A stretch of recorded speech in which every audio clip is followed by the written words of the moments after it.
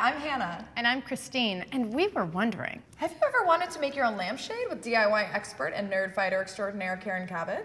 Are you looking for three totally awesome Tumblrs to fill your feed? How would YouTube's Kristina Horner, aka I Talk to Snakes, deal with some really awkward situations? Find out this week on The Wonderly Way.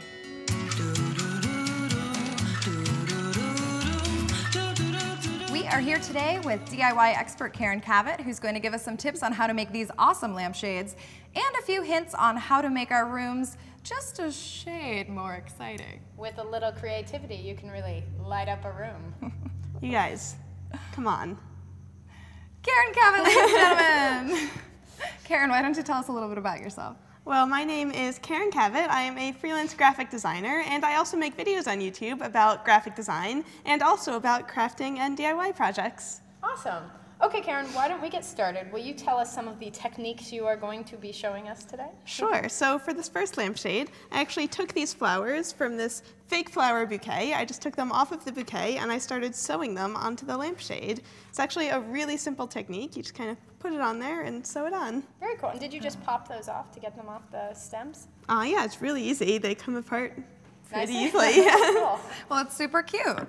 Then for our second lampshade, so this one is actually a gradient of all of these paint chips. If we can see our big paint chip book. That is a serious book of paint chips right so there. you can really do any color you want. I actually found mine on the side of the road because apparently that's what you do in San Francisco. But you can get these at any hardware store. Awesome. Very cool.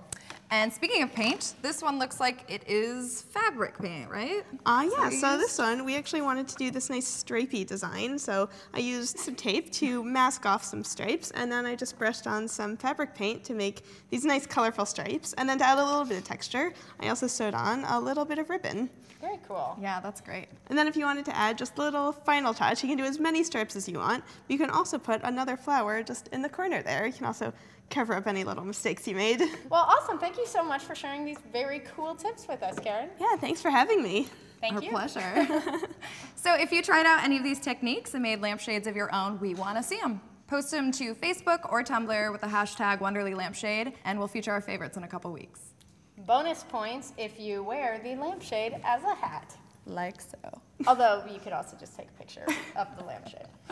You can also get more from Karen Kavett at youtube.com slash Karen. So, uh, Karen, you want to take us out? Okay.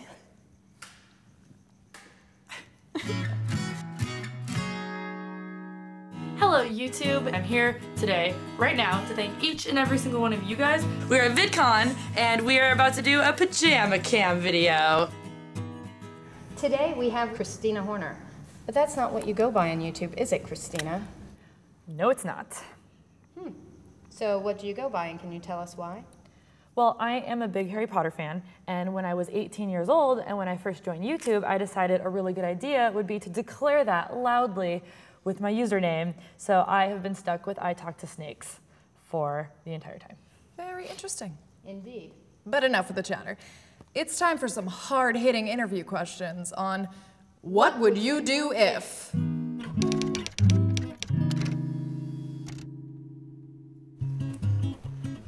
What, what, what's this? What are, what are you Oh, doing? this is a standard polygraph, a lie detector. We do it with all our interviews. Looks like a cassette player, and this is attached with yarn. Oh, okay, all right, Let, let's get down to business. Standing by. First question What would you do if you woke up one morning as a cat? If I was a cat, would I still have my computer? Sure. Yeah.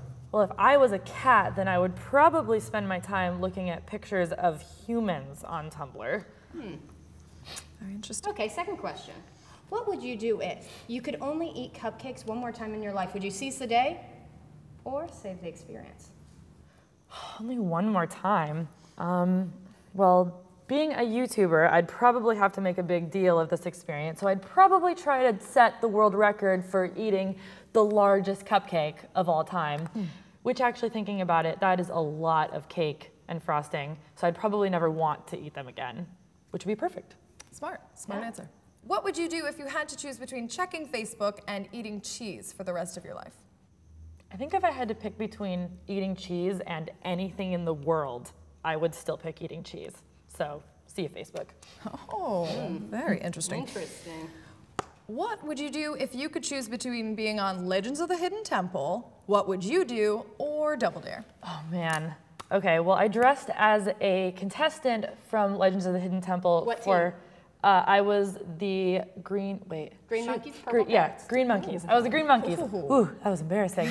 um, so I did that for Halloween. So I feel like I got that out of my system. Oh, okay. Uh, I feel like I'd have to do double dare because I want to be able to pick that giant nose. Follow up, would you be more excited about the nose or that waxy ear drum business? Ooh, the earwax is gross. I feel like the boogers are way cooler because it was like the Nickelodeon slime.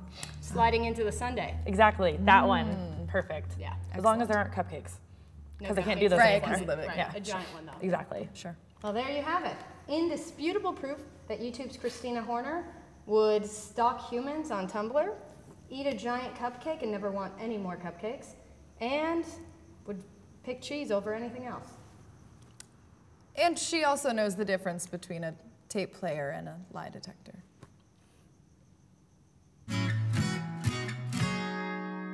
So I don't know about you, but while I follow probably a billion Tumblrs. there are a few that get me so excited when they show up in my dash. These are the top three Tumblrs I am crushing on this week. Up first, we have Nine Eyes. Nine Eyes curates all the most beautiful and scenic and super weird photos captured by the Google Street View car.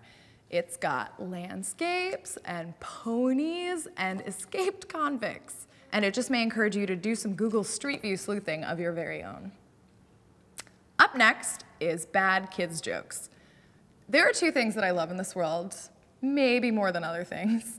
One of them is spazzy little children, and the other one is accents. It's run by this guy who moderates a British children's kids jokes website.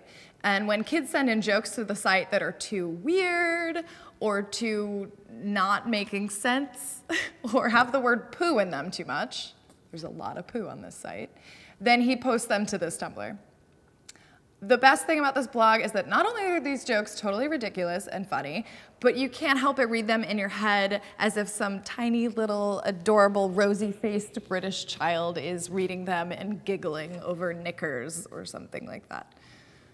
And last but not least, my third Tumblr I'm crushing on this week is Things Organized Neatly. It is featuring all kinds of beautiful photos of things organized neatly. And I love it because everything is so in its place, but in a very calm, soothing way. And you should check it out.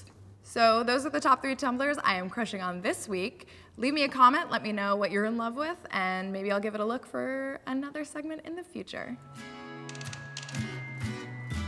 Thanks for watching our first ever episode of The Wonderly Way. If you're watching this 50 years in the future, we're probably still pretty popular, aren't we? We're like the I Love Lucy of the internet. We nailed it right out of the gate and we haven't aged a day. But seriously, guys, what did you think of the episode? Did you like it? Do you have any suggestions for next time? Is there a guest that you'd like to see? Let us know in the comments below. And don't forget to subscribe for more. We'll see you next week.